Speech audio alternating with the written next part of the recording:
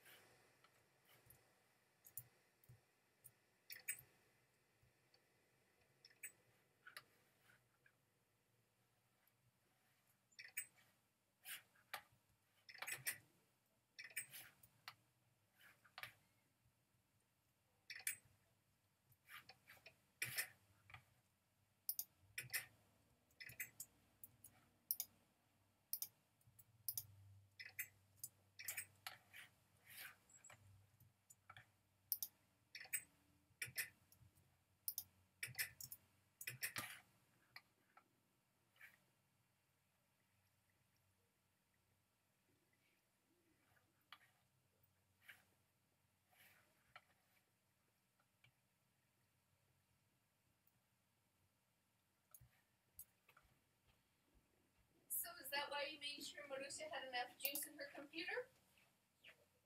yes. wow. Also, you understand not having a dysfunctional computer is useful to her. So it's to, Like- to me. uh, yeah, like anyway. No, I wanted my mom to have a computer that functioned well. Yeah. And yes, if it functions well, it can run this software. So you see, that's a skyscraper built by one of the youth participants, 34 stories tall,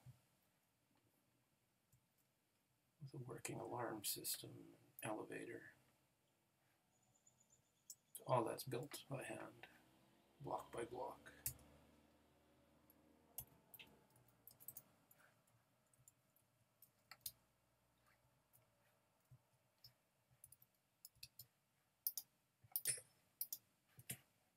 Did break? Yeah, I'm just trying to fix the hole.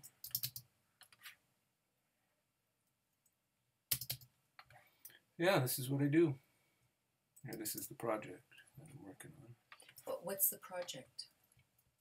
Uh, the idea, you can read about it yourself, but it's to create a virtual studio for youth in this game. And then if we do actually get kids making art in here, I have professional artists who can offer feedback and guidance. Mm-hmm. And ultimately, um, also some resources to create the prints that, that Yeah. you just saw. So, I put it here.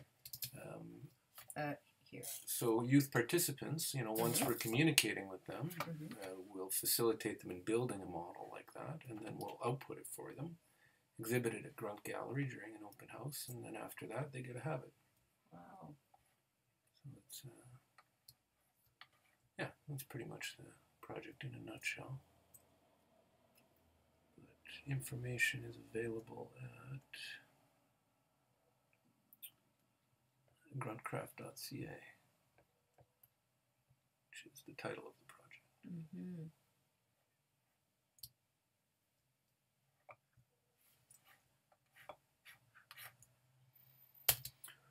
So basically, what you saw me doing earlier was attempting to write um, a program, Mm-hmm. basically uh, in three-dimensional space that will help the participants orient themselves and understand what's going on, Mm-hmm. what they can do, what they can expect.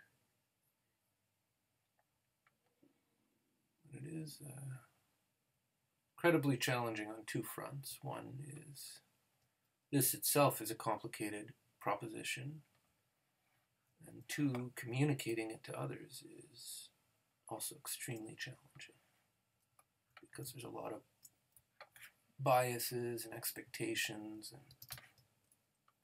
hmm uh, just kind of Or those little torches. Yeah, I'm just indicating that this program. So this is what I mean by a physical program. Mhm. See, under construction, put the torches to indicate that. Okay. Come in, Gruntcraft, object-oriented programs, type of programming. So what I'm doing is sorting all users into unicorns, Mhm. registered or unregistered Mhm. users. They should go to the website. Uh, uh, volunteers, staff members, Mhm. that's me, guests, and ultimately registered youth studio members. The idea is when you come into this world, you're faced with these series of choices, which sorts you into who you are, hmm and then I'm going to be providing instructions on what you can do and how you can interact. hmm And who put the cow in? The cow is my fault, so for those who don't want to participate, I created an exit.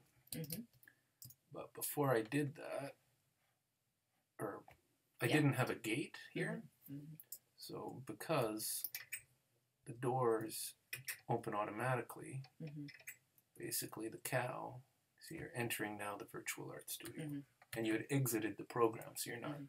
telling us if you're registered or whatever. hmm So the cow must have gone up these stairs and stumbled into this door, automatically opened it, and wandered in. Oh, I see. So I've since installed a gate. hmm Addressing the question of how to remove the cow, I might leave to an intern. hmm You know, it's clearly not a terribly impressed cow. Maybe we'll give it a patch of grass. So I think it's pretty interesting because it's Mhm. like you can see how kind of natural the space is. Like we can kind of think about it intuitively. Like you're already like you're watching it two seconds. You kind of have a sense of what's going on, right? hmm Or you can imagine, or you can kind of narratively picture what's happening. Uh, which with most games, I have to say, is not the case. So it's the accessibility of this particular game mm that has allowed me to kind of propose what I'm up to. So let's see. Eat grass? So these are all programmed little artificial intelligences. Mm-hmm. They have their little quirky behaviors. It's quite fascinating to observe. So, when you say quirky behaviors, where do they get these quirky behaviors? They're programmed, mm-hmm. kind of iterative programs. But, you know, they have a certain quality. Oops. Wasn't the right thing, was it? Yeah, hay bale. Yeah, maybe. See, he's like stopped. Mm-hmm. it's like, like look at that. Like what? That's curious. This is like the cow jump over, jumping over the moon. Yes, there is a moon, um, but I think it takes about a week to get there. Mm. Like I could keep flying at that, Mm-hmm. and if I held the button down for a week, Mm-hmm. I might arrive at a Mhm. thing. The whole world itself has the square footage of the planet of Jupiter, Hmm. and it goes down about you can see like a kilometer. So it's an absolutely vast virtual space. Completely. How can you program those dimensions? You just give it to them. You just say so many miles by so many miles. So how do you direct people to locations? No, how how are they? How how is the dimension programmed? Um, Is it that because there are dimensions. There are three dimensions in this Yeah. game. One called the world itself, the nether, and the end of the world. Mhm. Those are the dimensions that define the space. Mhm. Uh, it's programmed through algorithms, Okay. uh, what are called seeds. So there's a little algorithm. It's like a fractal algorithm, right? So it generates. You've seen fractals. Oh yeah. Okay. So we're harnessing the power of iterative formulas to create similar but but iterative things like uh, you know create trees. You know, Mhm. so you spread the trees out semi-randomly, uh, but depending on where they land, you know, you'll get a birch or an oak Mm-hmm. They'll grow over time. Uh, they'll grow from seed if the conditions are correct. Mm-hmm. Uh, so it's like where trees are, where animals are, where grass is, where water is, is all determined via kind of a fractal formula. And then each element itself has a program that says, well, if I'm a tree and I'm in the right conditions, I will grow. If I'm not, I will die. Uh, if I'm an animal, I will try to find hay and I'll be afraid of fire. So it, the world then moves according to these patterns and programming. So did Grunt Gallery come up with all these programs, or are No. these snippets available? Because yeah, that's heavy duty Well, this is this is extremely heavy duty, probably the most cutting edge programming we have Mhm. available beyond, say, the financial markets. Um, So, who did the programming? it's a company called Mojang, but there is one guy in particular uh, who's recognized as this being his kind of Forte. Well, coming from his mind. Uh, but he subsequently handed it over to a team. Mm-hmm. So, you know, the guy invented it Mhm. and created the kind of framework. But uh, since then, he's handed it over to others. So, Mm-hmm. yeah, Markus Persson is the original guy. Mm-hmm. And then uh, I believe one of the, I think Jens has kind of taken lead from him and he's developing other projects right now. Mm-hmm. Anyway, it's uh, just, you know, it's, I think it's, uh, like I've been fascinated with this world for years Mm-hmm. and I think it's, it's a really significant shift in our culture and media in general. but this game has made it so easy to as you see i can just start playing i can be broadcasting to other people you know, thousands of people could watch this potentially and i don't have the audience it's just me right now Right.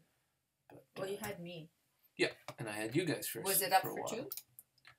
yep that, that goes up to two when you guys were watching Uh, you could have actually also have chatted with me Mhm. through that interface uh, Yeah, like ask me you. questions and the questions appear in the game Okay. Yeah, I could get a microphone going too uh, at some point if I wanted You mean to. here? No, I I could hear you. Are you sure you just didn't see me writing or you heard no, me talking? I heard you. I heard you laughing or something or something. oh I shouldn't do that because that's embarrassing. Well, yeah, This is all being recorded. yeah, Well, I didn't say. Whatever. I haven't been swearing recently. No, no. Oh shit.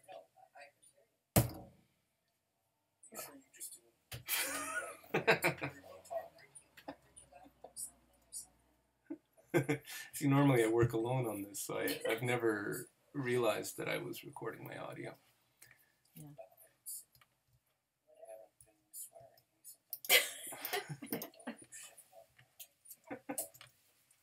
Well, there you go. Know, we'll put in a, an R rating on this recording. Yeah, yeah. See, normally I work alone on this, so I, I've never realized that I was recording my audio. But okay, so now we can see how Mhm. incredibly easy it is. Well, yeah, right? yeah. It can happen by accident. well, how can it happen by accident? well, that's what happened to me. Well, I just I should have noted that this microphone was On. active. It's, it's my own silliness, to be honest. Goodness. But you know, we're all trying to do a million things at once, so Yeah. It's interesting the time delays. But actually, sorry, explaining it to you is Mhm. precisely what I'm trying to do, Mhm. right? To Yeah. for the audience. Exactly. And so being able to take you through what I mean by this Mm-hmm. object oriented program uh, And this way you've got already part of your manual there. Yeah, recorded. People can watch that whenever Yeah. they want, and I can go in there, take that chunk of footage, put it in YouTube, Yeah. cut off the head and tail, and it's Yeah. done. Yeah. So incredible efficiency, right? Like what I'm surprised. what used to be like, oh, can you write a manual and da da da, has turned into well, Get get somebody who doesn't know how to do things and, and teach them. yeah, exactly, exactly, and that's my kind of role in the Mhm. project. I don't know what I'm doing, so I'm learning from all, from these kids. It's uh, Well, yeah, yeah. Excuse me. sir. of course, yeah, yeah. Thanks for uh, checking it out. Oh yeah.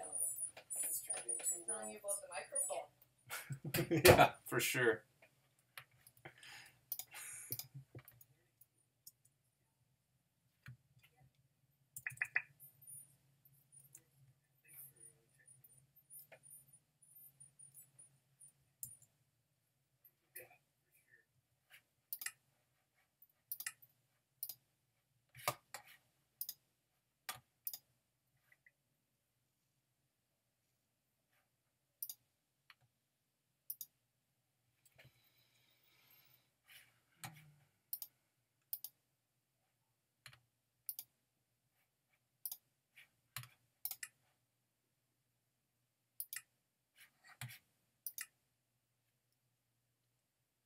Hello, hello.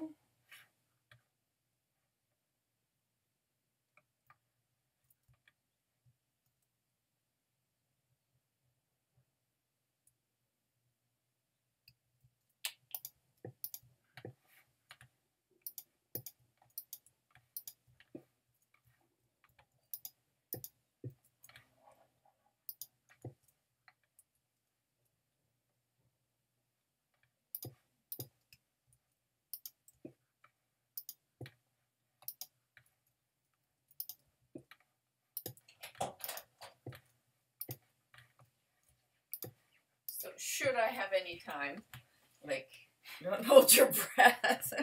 Keep in mind, we got an audience. oh, who else? I don't know. Okay. Just uh, you know, there, there are people who Yeah. like this is now a channel on that website, Yeah. so Yeah. people can drop in. Well, I'll, um, like I said, should I have time, I don't hold your breath. I'll um, check out gruntcraft.ca and see if I can, if I can make better headway through it than trying to start up my Apple, well, yeah. which if- which I seem to have fouled up majestically. No, no, it's it's the program is then Is them program. Like I think the dream is is when we really sort out computing and programming, these glitches will be historical, like just a, a historical blip. Okay? So we'll see how historical or unhistorical grunt. Computing will, will become absolutely seamless in the future. We, we Yeah. won't recognize it for what it is. Good. It's, Oh, when are you heading back? I'll be heading out tomorrow morning. Tomorrow morning? Okay. Well, I'm going to head out now because I still have to go visit Talpa. Very good. I'll Yeah. say goodbye. And thanks for the. oh no, I'm really glad you were able to see it. Yeah. And, uh, nice to see you. Uh, I'll Yeah. try to swing back to town soon, and we'll spend more time together. Yeah. Oh, I see your mother's been busy buying. Yeah. Yeah, well, all the best with this. Thank you. Yeah. If And, you uh, need a real novice, just call me. okay. Perfect. Thank you. Who knows how to press all the wrong buttons? That's exactly. Yeah. I love that.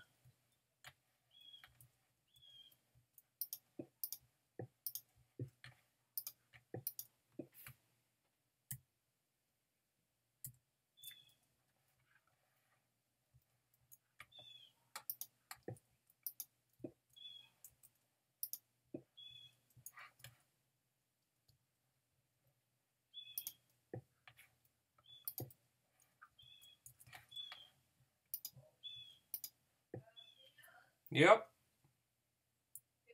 Yep. Are you interested in trying some limoncello gelato? Oh, thank you. No, I'll, I'll pass right now. See you later. Later.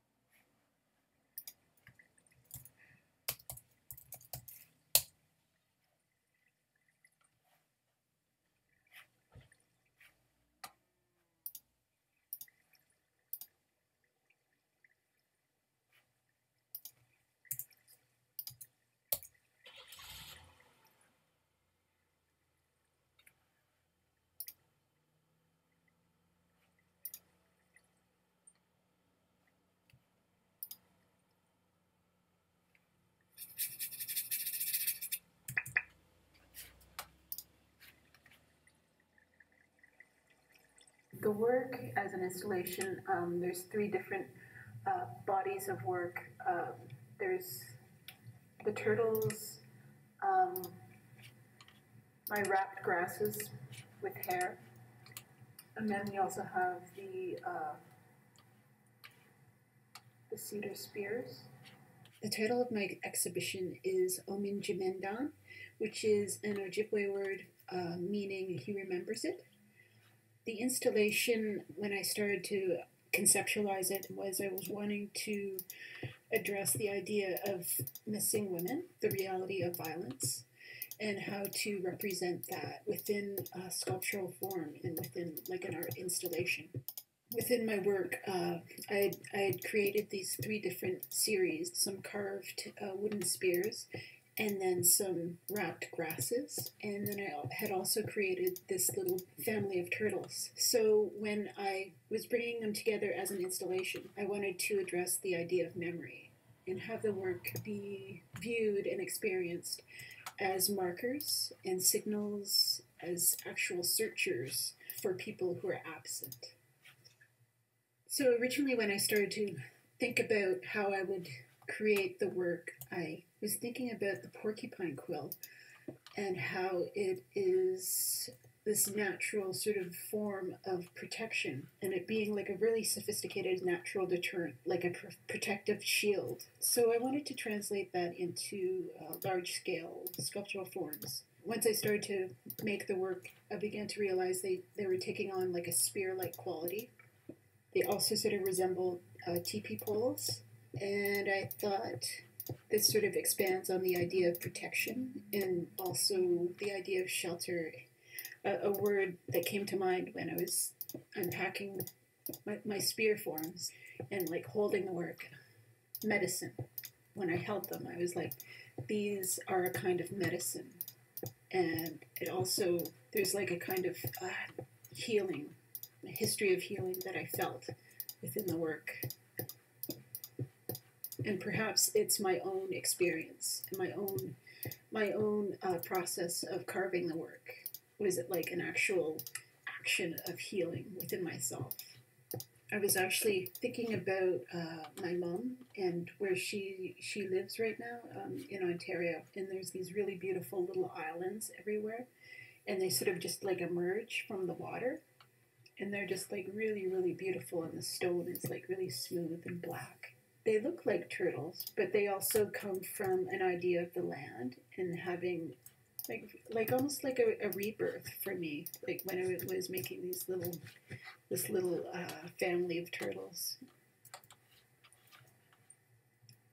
I guess lately I've been thinking a lot about memory and, and when I'm creating this installation and thinking about histories that are really difficult to address or to accept or acknowledge.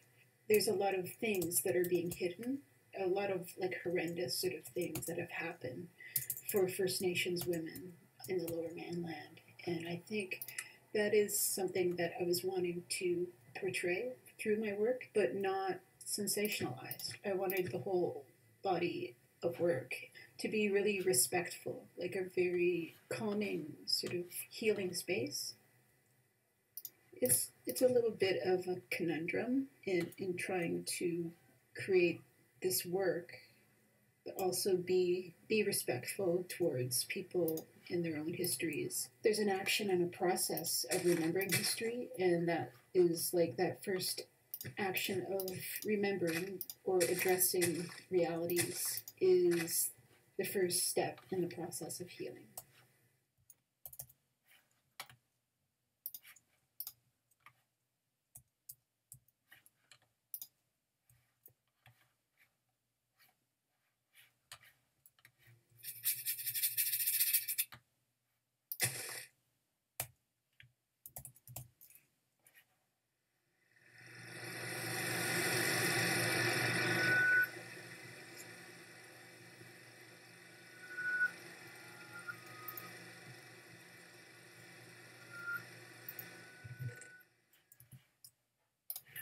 Is what I call a flicker film. I don't know if it's actually a, a, a real word.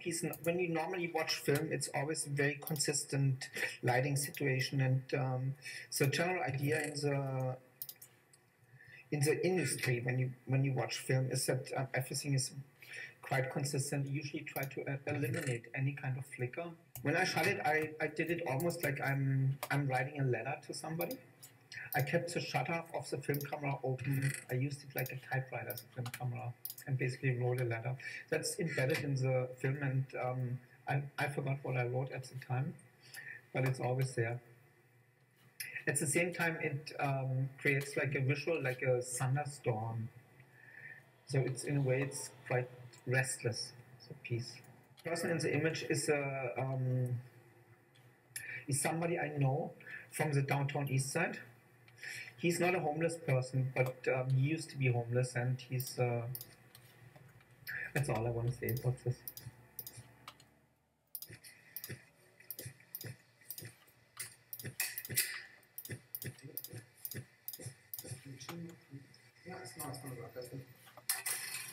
Yes. Look at the, at the film projector, it's actually very similar to a sewing machine at the same time. And again, there is this whole element of a clock or um, things turning, universe, the cycles of life. They're all in, embedded in the techniques, and um, I like that in the piece. In this installation, I'd never use um, chairs. I like to have it. I like it to be like a walk in the woods. When you walk into the gallery, you walk into like a forest. Thinking about maybe incorporating like the parts of a music box into the piece because it's quite nice to have this really atmospheric little sounds. And again, it's a, it's a, in a way, it's a, again very much like the piece in mechanical that works. It's something spinning really slowly. I did the piece a few years ago when I uh, didn't quite know my place. Um, felt a little bit lost. I was just walking through the woods. And I started thinking about. Uh, I, I saw this. Was walking and I saw this tree. It looked like. Uh, looked like somebody running away and frozen in time. So I started to think about about um, how we look at objects and trees and make um, sense of the forms. So the piece is shot on a 16mm film camera. And what I did, I used single frames. Normally when you shoot a film camera, you push a button and the film will continuously run at 24 frames a second. What I did, I switched it over and I did um, everything in single frames. Piece consists of three um, 16mm film projectors and three loops. Because the three film loops have a different lengths, you can pretty much stand in front of the piece and look at it for many years and would never see the same juxtaposition of the piece because the, the loops run at different intervals. So it's ever changing, which I found to be also a really nice metaphor um, for the philosophical part of the piece. One of the plexiglass screens is animated by, uh, with a motor.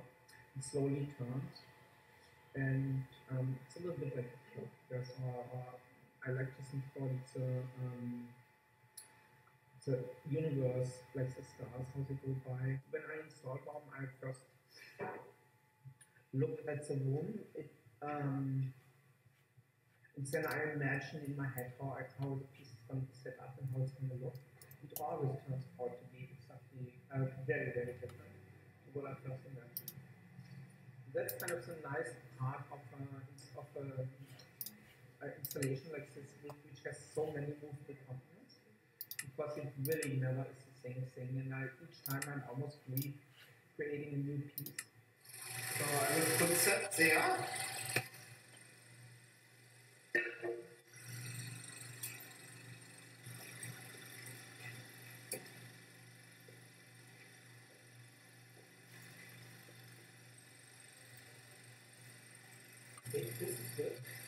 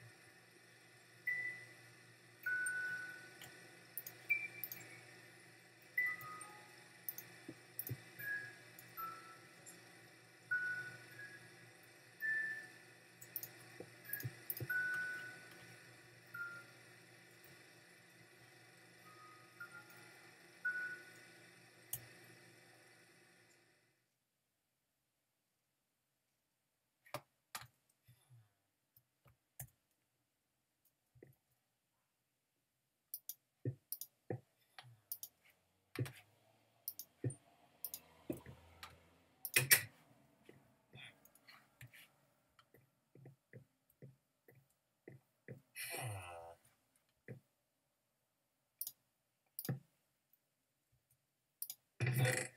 would say Old Growth Project is uh, kind of like a, a space of discovery. The exhibition is kind of like a space of discovery where it's an open archive that contains reproductions of um, hundreds of pages of his uh, work that ranges from uh, 1970s all the way to the early 2000s.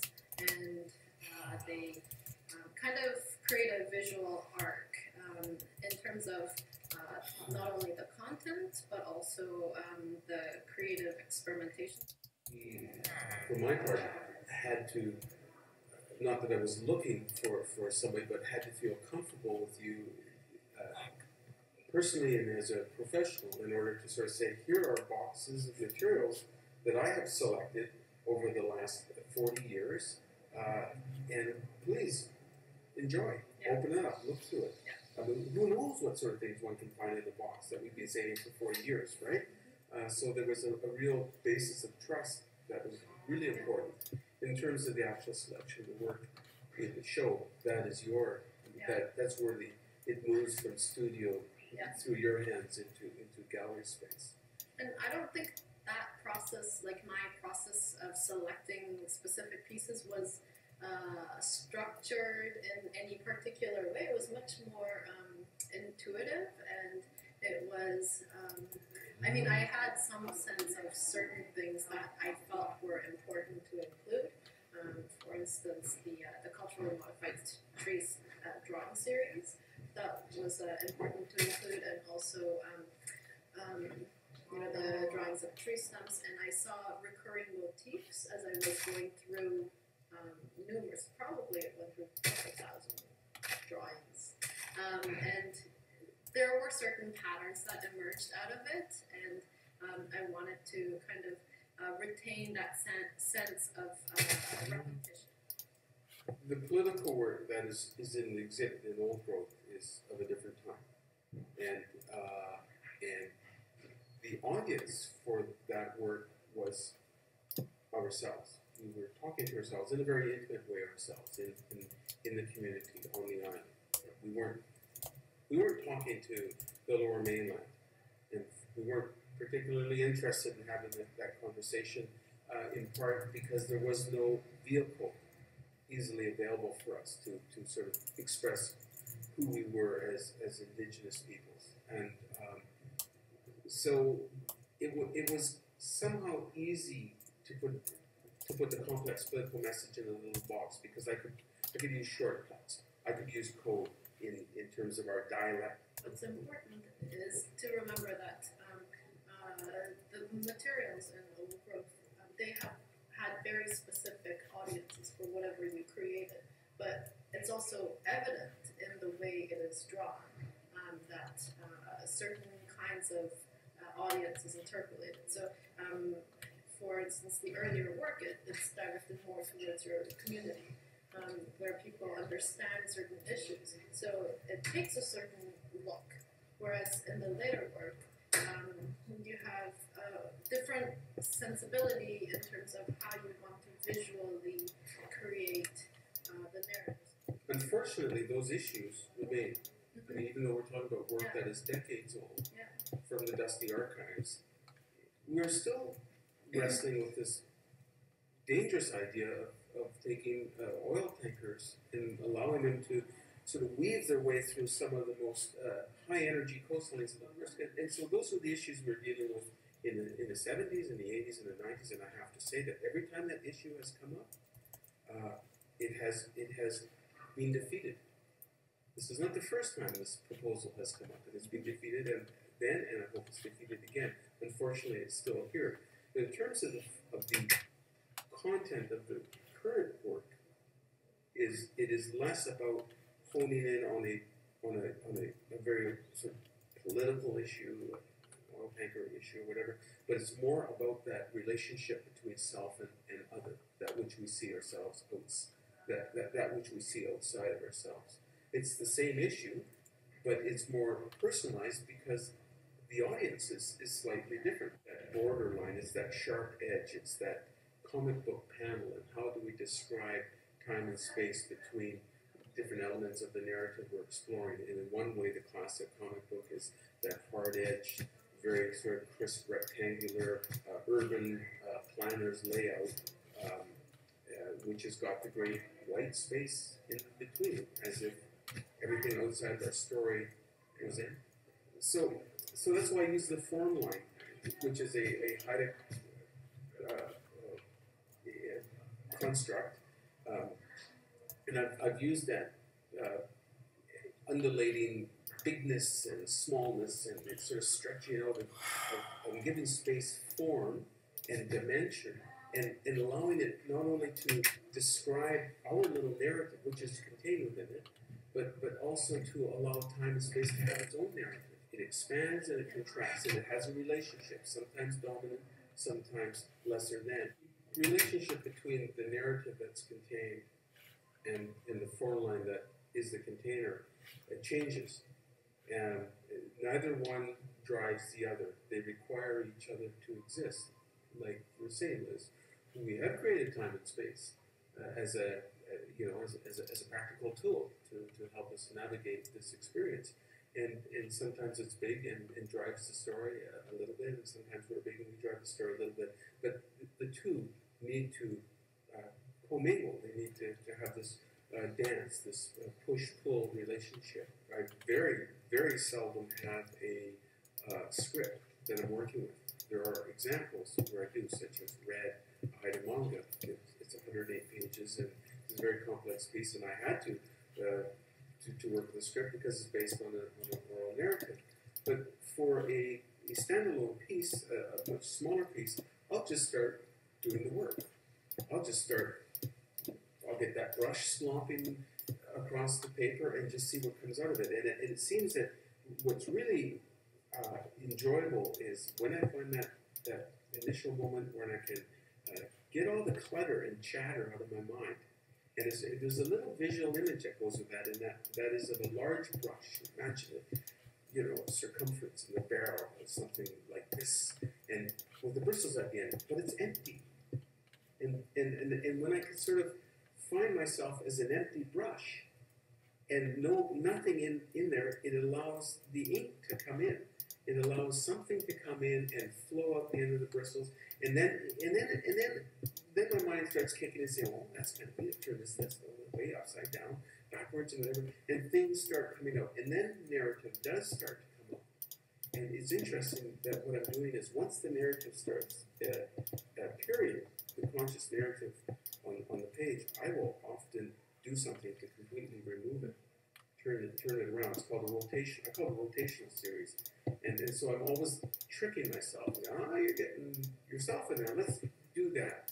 And what I'm hoping happens at the other end is that the observer sees the work.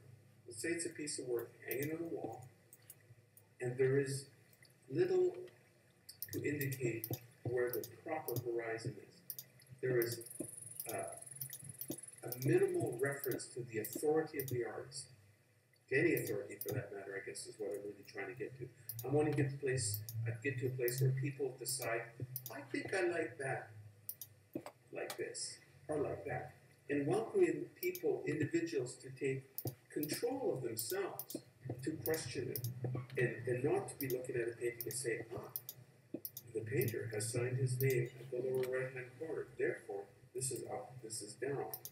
And I, I, I sign all the corners. Actually, I initial here, and know, flip it, and I'll, I'll put my little archiving number on it. Now I'll put a title there, and then I might put another little thing there. And it's really to have people understand that when you switch the the laws of gravity around, it is not the loss of everything. It is the discovery of something in its own way. There is no diminishment of us as humans. It just gives us a whole other wonderful way to discover the world.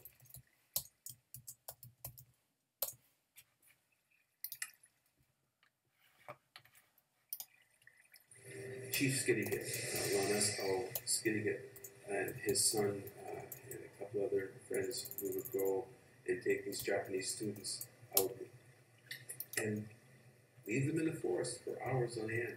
So they had these very sort of personal experiences uh, and it was during these conversations that would take place on these trips, which would last a week or so, that I heard about mangaka as was a comic book artist, which was a, respect, respected profession, and that wasn't the case here at that time. My work in terms of the uh, the look of manga is not manga. It, it, it's truer to what I understand the definition of manga, which is art without borders. Right, manga is less an effort. There is no effort to try to replicate a Japanese technique, but it is a an appreciation. The marriage of Haida and manga uh, helped me position, located uh, for myself. Being blatantly self-serving in the first instance uh, has created these um, uh, circumstances that have been encouraged by, by, by audiences, by gallery goers, by collectors of art. And there seems to be something about get the chatter out of the way and do do this little thing that I'm doing here. And uh, if it's true and it feels true for me, it, it's going to work. The starting point for a relationship to that which is around us is not so hard edged. It is not such an imposition and it really is more of an integration and, and a flexibility. In sort of translating that into art, well, that's uh, that's something that I feel that I've always done. I always sort of scribbled and played around with. Fortunately for me, when I became older, unlike uh, most children, I didn't lose that that uh, creative expression. I didn't channel it off or deny it. I just kept playing with it, and I think that comes from uh, from from within a community that, that really does value the creation of, of, of, of objects. Suddenly people woke up and saw there's a whole audience and a whole set of, of questions, important questions and, and themes that are not being addressed in comic books. And so let's let's open it up. Let's talk graphic literature. Uh, let's let's let's uh, let's really look at it and, and see it as a very complex uh, art, art, art form. And we need to be honest about who we are in terms of relationship to that which is around us.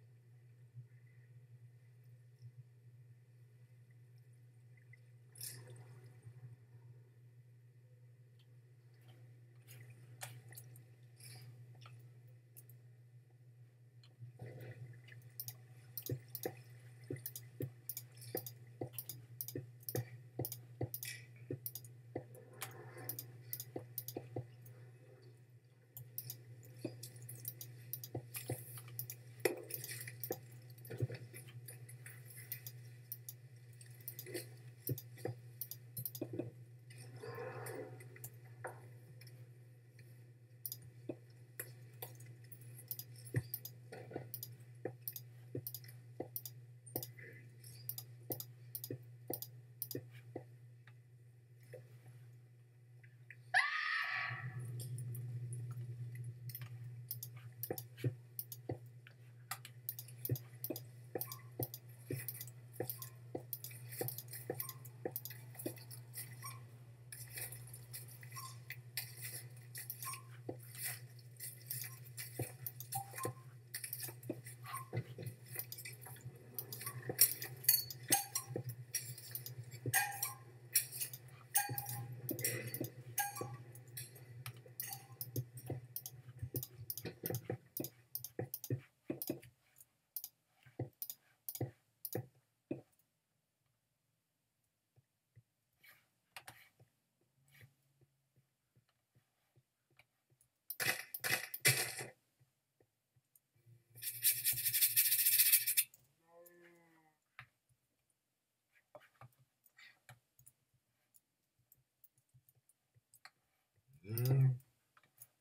Uh,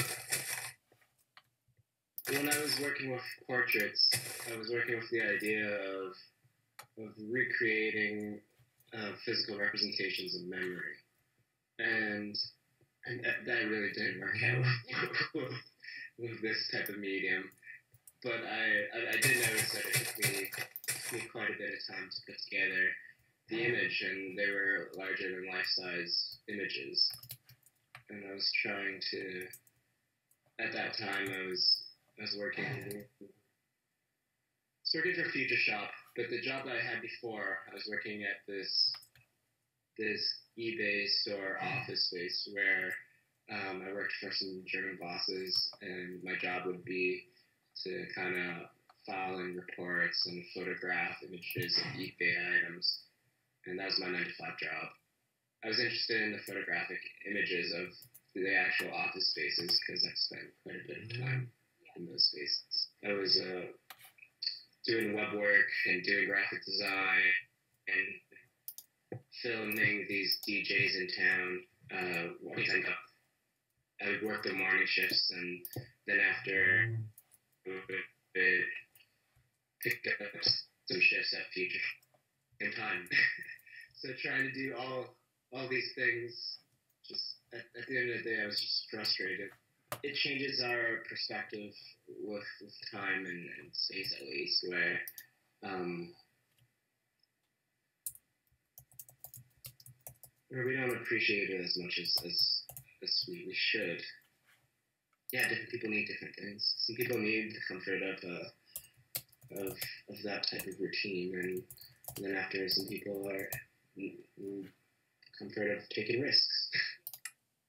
I've always thought, what if I dedicated the amount of time I'd spend with uh, a working job and, and and take that time and flip it over into my art practice and see what I could come up with. I think the earlier installations, it was very frustrating for, for me to figure out um, the time frame and what's actually going with the performative aspects of the project, and um, and I just I didn't have like I, I didn't have the time to figure it out and sit down with the work and actually review what was going on, and after, after taking it for, for two years from the, from this body of work, I'm, I'm I'm actually starting to, to see newer elements that come from uh, like paralleling the, the life of the nine to fiver, going with this nine to five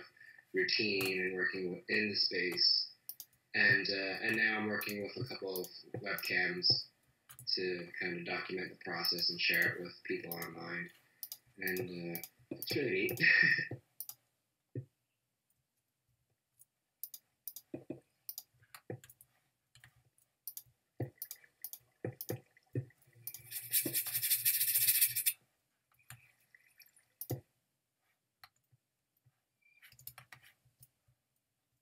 This started uh, when I started university. I even started before because I was working for the University of Archaeology when I was still in high school. At that time, reading stuff on, you know, scientific stuff uh, on archaeology. You know, it all began with finding arrowheads as a. And then it just happened. I had the chance meeting a, a really good archaeologist who was teaching. Who just picked me up, took me there, and put me to work in just sort of included. The skulls are really how we understand our evolution. That's probably, you know, one of the main things. And that's, that's more interesting than the hips. in bones wise, you know, depends on you're but uh, they, they because uh, the hips will tell you whether you're standing upright. You can tell that, you know, from the hips because of where, where the bone is located on it. If you're leaning forward, the, the, the, joint is different. Same with the head. The way the head sits on top of the spine indicates that they are upright walkers or knuckle walkers that bend over a lot. And uh, skulls are just, they are the sort of like first line of of, uh, of exploration for for paleoanthropologists and anatomists to try to understand what has happened to us. They tell you what eating. They can say have had good years and bad years. Uh, you know, was there droughts were there uh, starving sometime? And then there's just even taking some of these figures and they can say, well, between ages six and eight, almost uh, almost starved to drought. Here you kind of see how how the face is kind of stretched way out there. And this is not that, that old. I think this is a. What, That's not Phyllis, yeah. So this is this is where we have set up as our first tool maker. Top of the head grew, crown. So the crown grew as the face shrunk. So anyway, that's what's called. It becomes a reading, of reading uh, our our evolution, our physical evolution.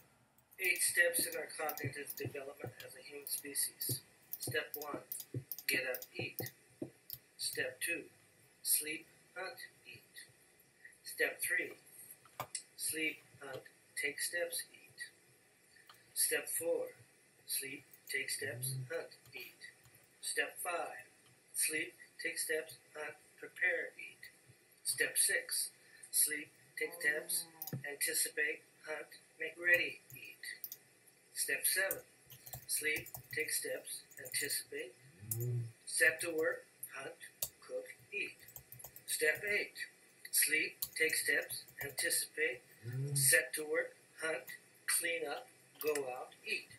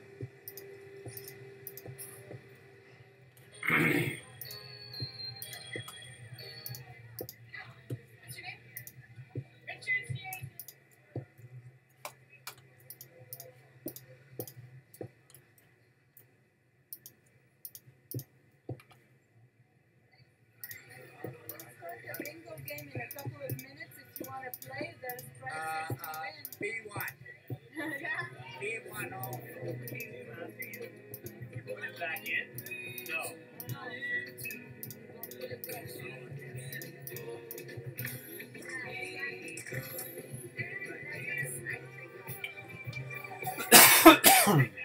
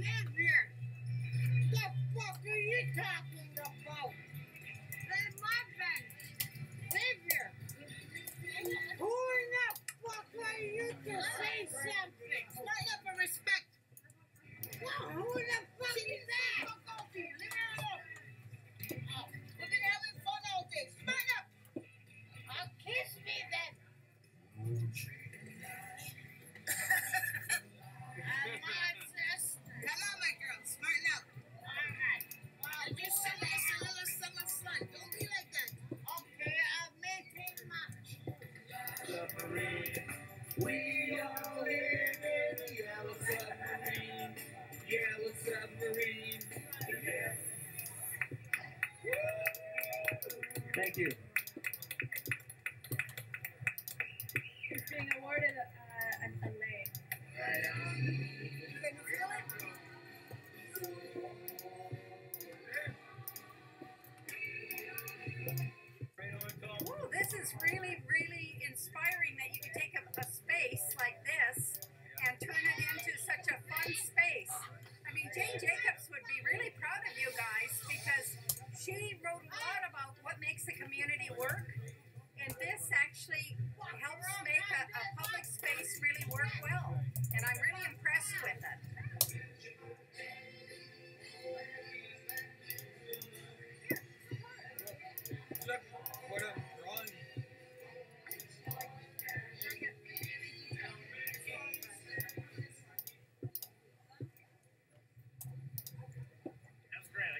whole thing. no, but it's okay. You yeah. know, it's exactly the point to yeah. do it here. Yeah. Because then people can express themselves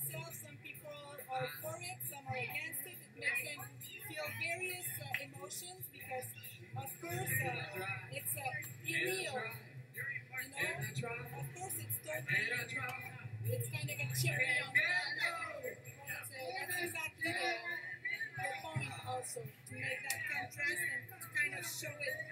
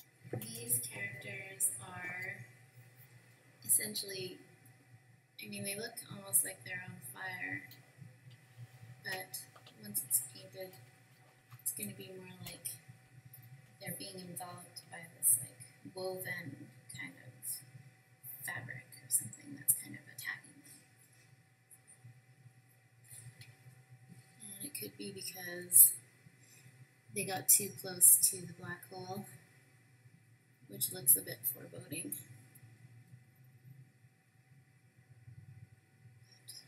I mean, I think that each one takes probably about a month of my life. Maybe with a composition or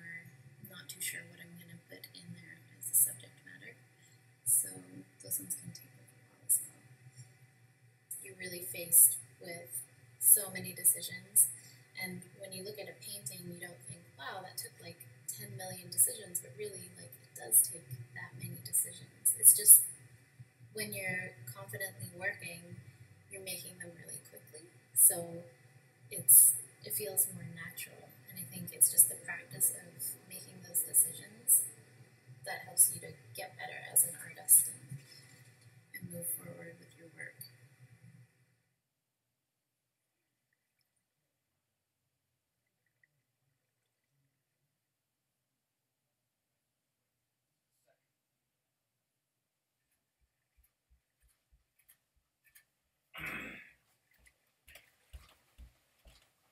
you know, we're So, when I was choosing the title, I was thinking amongst the works, you know, there are some works, you know, we have, know, human, human being, you know, as a, as a subject or object of the, of the work. And in some of them, we, we have everything except human being. All It's all about the lack and laws of, you know, the, the human. First of all, the medium of the works are, you know, mostly photography and short movie. Uh, and I, I don't call it video. But uh, in photo sequence format, huge frames. Within each frames, we have a couple of shots and mostly black and white. And yeah, they're all about the, the situation after the presidential elections, in riot in Tehran. But I'm not showing anything directly. It's all about that, but without seeing anything about that directly. So it's totally about the, the kind of you know a body of absences it's kind of really inspired by the huge violences, you know, emerged at the state, you know, at the time. But I just tried to to deal with that violence without showing that violence. So it's in a way super personal, but I just re- relied on my, you know, sense of intuition, you know, as the as a kind of you know, representative, you know, a representation of that of, of the body of the society. But it's all about the absence of the culture. And the culture which is being replaced by the new forms of it, which is not mine. I'm not talking about the kind of you know, cultural invasion or something like that, but reification of the culture, which is, I mean, something's going inside my country which doesn't have any context. And it looks kind of exotic. It looks uh, good looking, but in an exotic way. It doesn't fit, it doesn't suit my people. But uh, I'm not just you know, yelling about this, that, you know, why is that? I'm just posing some sort of question that what's going on, know why it's happening. In this series of work, uh, um, I was at the, uh, at the time of producing them, I was suffering from the from the abandoning of my culture, the destroyment of my culture, which is happening in an instant in my country. The, the title of this work is a representation, not representation, representation of the self-portrait number two. This is my self-portrait one sentence is getting repeated over and over and in a way constituting my self-portrait, which says, it only means that you may not be able to argue with the admirer of the violence. So I'm saying, okay, that's fine. If you want to represent me like this, I don't have any problem with that. But be careful if somebody's cutting this screen of representation and doing this, you'll see that the frame is empty. So this is only the system that they're representing, representing as, as a body of violence. In a way, I stole it. Not in a way, I, literally I stole it. I thought that maybe it's a painting, you know, just was left there, you know, from, you know, the former students. I brought it into my studio, I opened it, and I said, oh, that's a fantastic, you know, empty frame. I'm to print one of my photographs and install it in, but I didn't do that, so I used it as kind of, you know, typical, typical notion of the frame, the centralization, the concept of centralization, defining, labeling people, you know, within the frame. Yeah, I mean, it's a stolen material. I have to admit that. It's a quote from Karl Popper, who's the kind of you know leader of the liberal theory and you know, liberal neoliberal you know philosophy, and have a huge rejection toward Marxism, and I have a lot of you know dislike for this for this guy. That's why I chose you know this kind of quote from him. What is amazing for me is the is the word it. That it only means that as if the whole thing is an object. When when somebody is being defined as violent, as a noun, is an it. It's an object. So it's not a subject. We don't want to know. it. We don't want to deal with it anymore. Just let it be there. So that's why I chose it from him. I mean, if I if I'm going to summarize the whole show in one word or one expression, it would be about the cultural reification, uh, not objectification or reification, because this show is all about my culture, is getting shattered and shattered and shattered.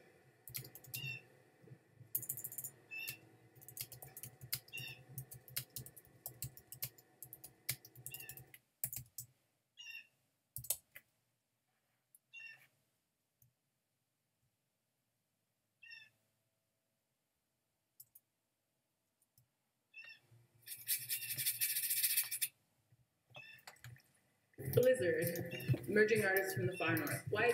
Uh, hello, everybody. My name is Tania Willard, and I'm a curator for an upcoming exhibition here at Grunt Gallery. We're a Canadian artist-run center based here in Vancouver's East Side. Produce exhibitions, performances, and projects, and art as well websites. Together, our next project is Blizzard, which looks at emerging artists from the far north.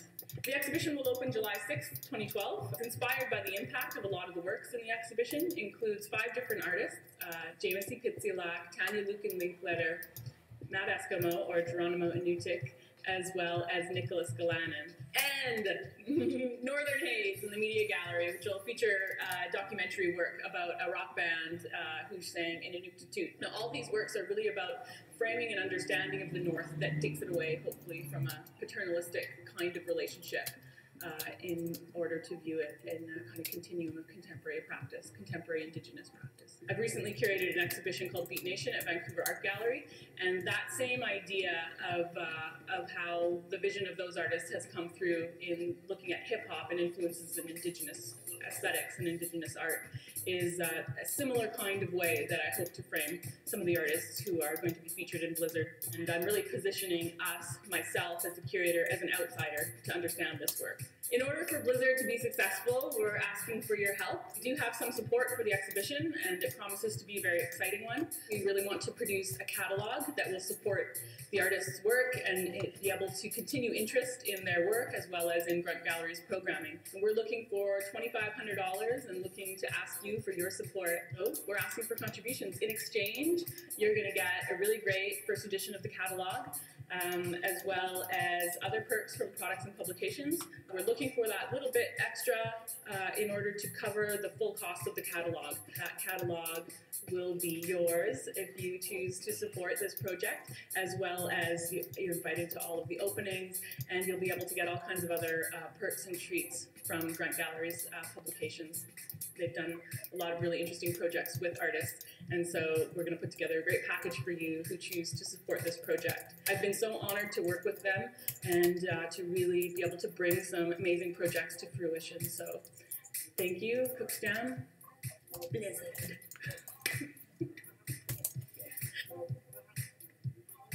Check out our site at grunt.ca.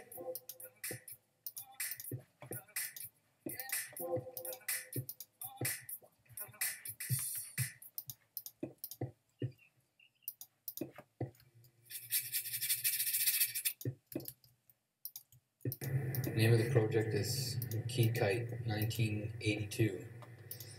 And the project is a, an offering to uh, New Westminster or the Qayqayt Nation because I was born there and I um, feel it's difficult to describe because um, incredible atrocities happen there. And if those atrocities had not happened, the city would not be there, and some way I wouldn't have been born. So this is my way of giving back a little bit, and showing my gratitude. And it's hard to talk about, but uh, I tried to manifest how I felt in this exhibition. I didn't plan it out this way, but it just turned out that it seems like this will here to my right represents the past in some way, or a balanced reality where uh, humans and nature are are living in in balance with each other, in respect and recognition. The structure is a simple construction of very simple materials like dimensional lumber, um, there's three equally spaced spaces inside, and on the two ends there's uh, walls of cedar. There's a, a circular drawing of the flow of the Stalo River. And there's also those two points where Grunt Gallery is here, and that's uh, Royal Columbian Hospital. And there's other places like uh,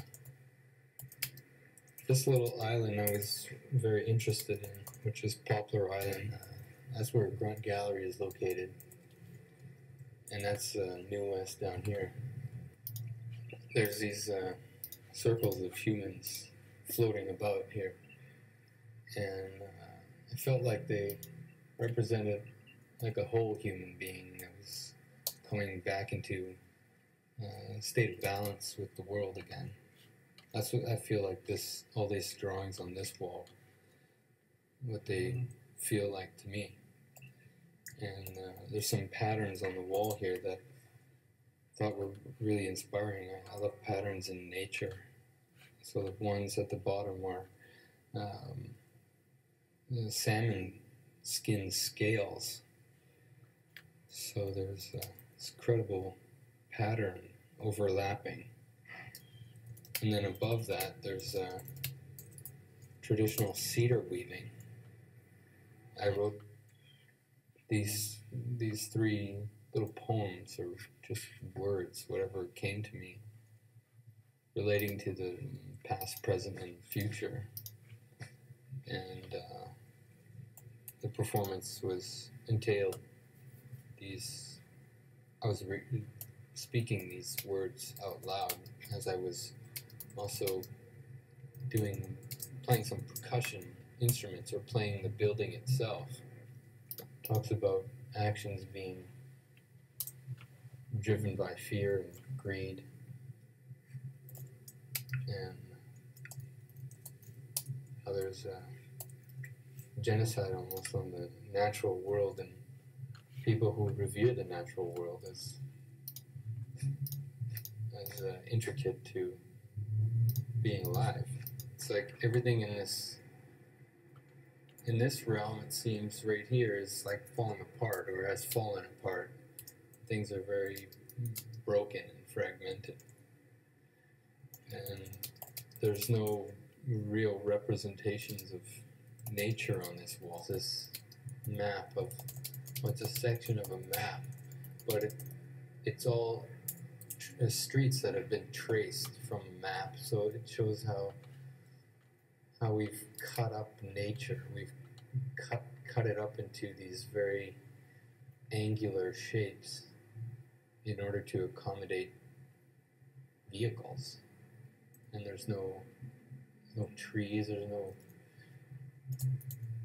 notion of nature in like almost all the rivers in the city are are underground and flowing through a culvert.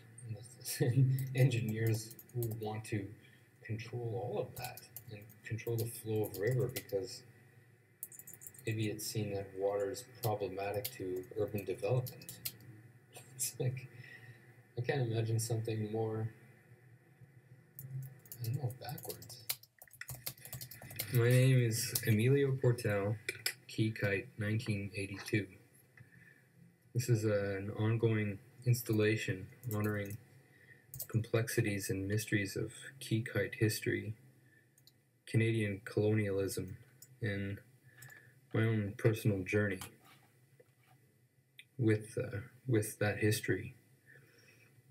I was born in New Westminster in 1982, which is the traditional Qayqayt Nation territory. Thank you. Hope you enjoy the show.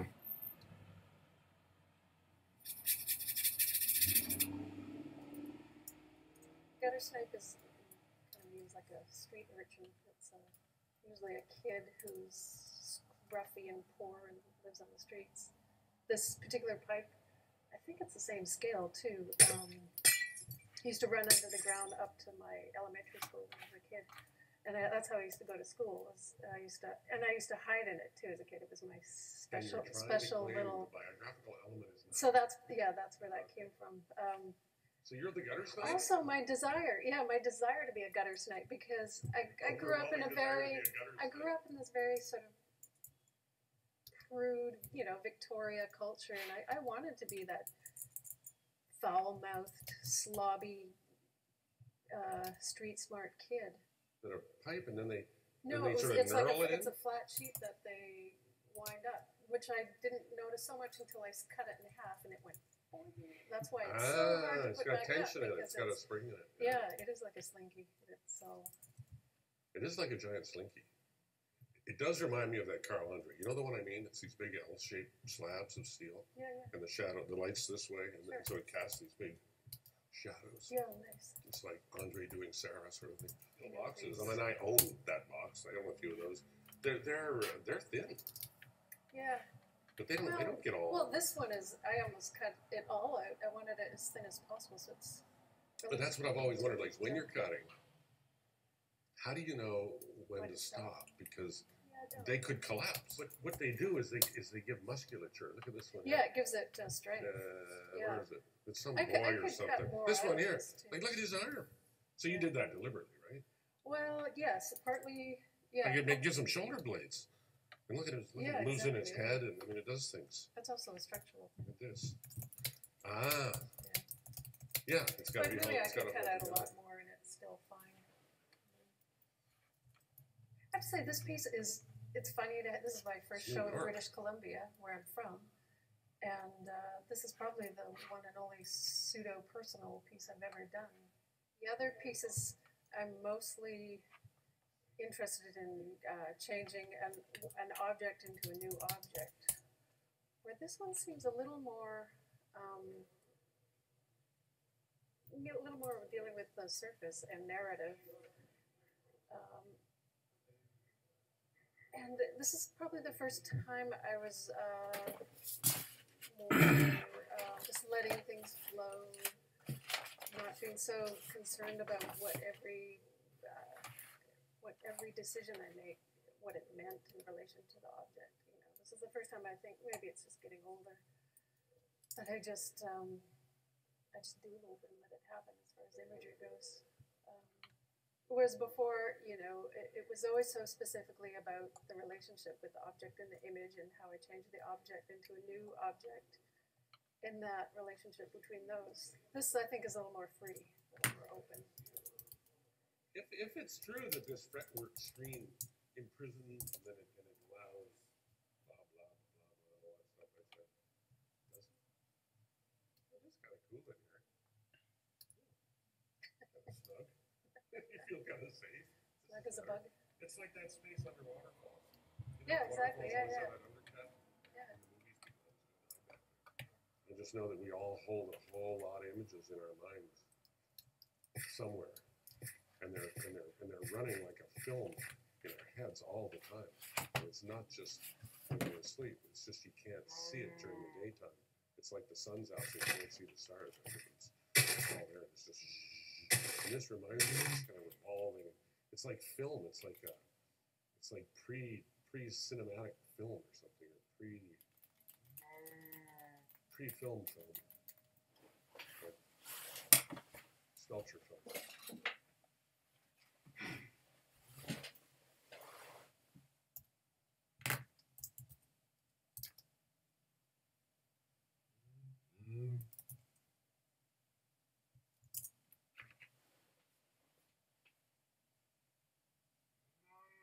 Mamuk. Mamuk. Ipsut. Ipsut. Mook Ipsu. Mamuk Ipsut. Mamuk Ipsut. Mamuk Ipsut. My name is Desiree Palmen. I'm a Dutch artist working in Vancouver, British Columbia, with the Grunt Gallery to create a youth project called Mamuk Ipsut. The project involves seven Aboriginal youth and explores their relationship to the Vancouver urban environment. The title Mamuk Ipsut is a Chinook phrase that means to hide or make hidden. Each youth is asked to choose a place in Vancouver City that is meaningful to them. The project itself involves all of us working together to camouflage paint the suits into their chosen landscapes. Often, this project takes place in uh, areas where the children's connections to the land is extremely important. So it's it's about their relationship to the to the city and their place in this city, in the city of Vancouver. Well, first, after introducing my work, I, I showed them what I did and how I came to the work, which is um, camouflage painting suits in urban environment. In my case, it came from the monitoring of street surveillance cameras, but it could also be uh, like blending in to your favorite spot, which was really interesting because all the kids took later came out took their favorite spots in the city. Well, first we we I, I provided for all the kids these white suits, and we went like with a blank page, which is in this case a, a white suit. We went to the different locations and we made a picture of their favorite spots, standing in the white suits. My name's Jaren Bird and my location is the Skytrain.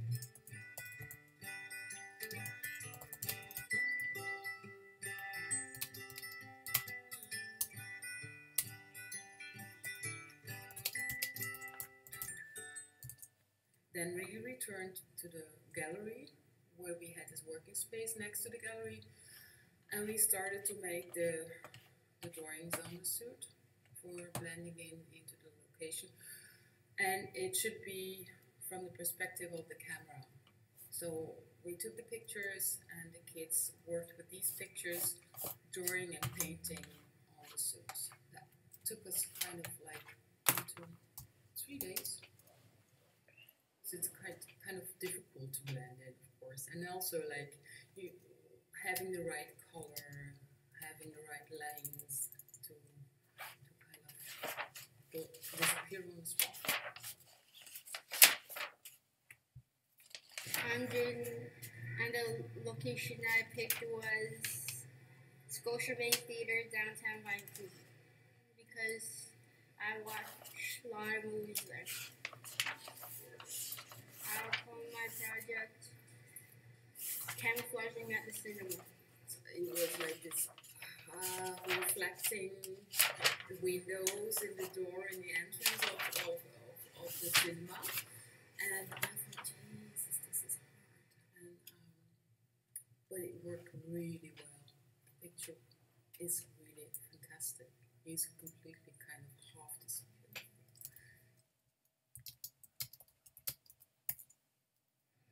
My name is the location I picked was the BC place because I like to like look around where the water is.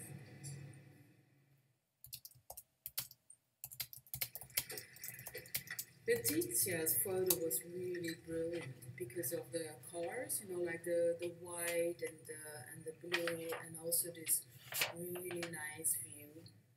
I thought, oh, was going to be hard, but she really got, got kind of like feeling for the colors, like the blue, and, and, and we were also a bit lucky because the weather was steady, like all the time sunny, so it's kind of it really worked out well, and it's it has this really kind of optimistic summer feeling in the, in the picture. Oh, that's gonna be cool. With the blue? This is really nice. I love it. We only had white, black, yellow, blue, and red paint, so you have to be able, I learned that in school, to make all the colors you can imagine. So it's, uh, kids did learn that, and also kind of where is this line going? It's on your shoulder, on the back. Is it lower than your arm? You know, like they kind of really had to look careful where all the perspective lines of the building, for instance, start or end. So it was kind of hard job they had to do. I'm Daniel, and the location I picked for was a pond. I named my painting the tree. Starting with Daniel, it was great because uh, I, uh, it was like he sitting in front of this tree, which his hair, the color of his hair is really exactly like the color of the tree, brown, and I really like his photo. Like also, it's just like kind of in the same vertical strictness as the tree, so it fits really well. The two of them. Well, I don't think they thought it was, was easy, but probably it, it was more difficult than they thought. I don't know. It's really hard, and and and I know I also experienced that it's really hard. I also made suits which didn't work at all, so you just have to see your failure. I picked a nature natural pond in the middle of a park in the middle of downtown Vancouver. Very natural and just not at all like everything around it. I go there a lot. I feel connected to there. It, it's very different than the rest of the area I'm used to, so it's a nice change.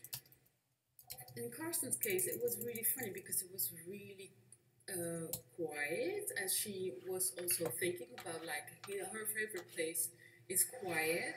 And then for the final picture with Henry, it was crowded. The whole pond was full of kids, and there was this mom going into the pond. It was really nice weather, and all the kids were plunging in the pond.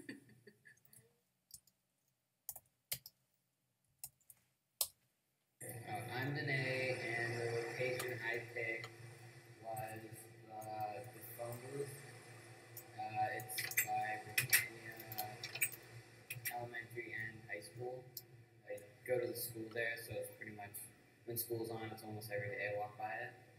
When we went back to the telephone booth drive, they put a door in. Can you imagine?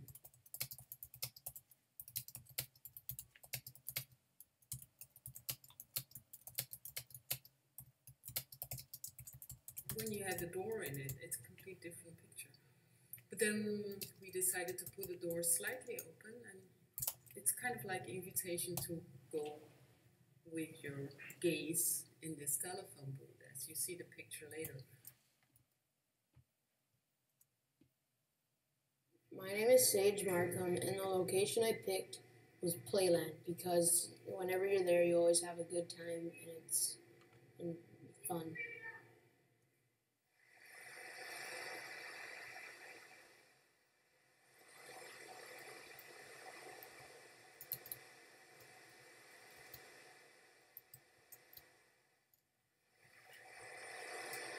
So when we went for this controlling in between picture, if it would make sense, there were, I, I don't know, I think there were thousands of people, no?